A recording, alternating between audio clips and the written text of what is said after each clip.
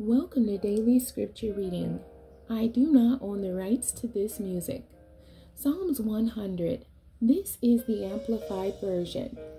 All men exhorted to praise God, a psalm of thanksgiving. Shout joyfully to the Lord, all the earth. Serve the Lord with gladness and delight. Come before his presence with joyful singing.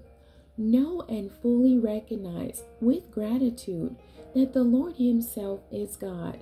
It is He who has made us, not we ourselves. And we are His. We are His people and the sheep of His pasture. Enter into His gates with a song of thanksgiving and His courts with praise.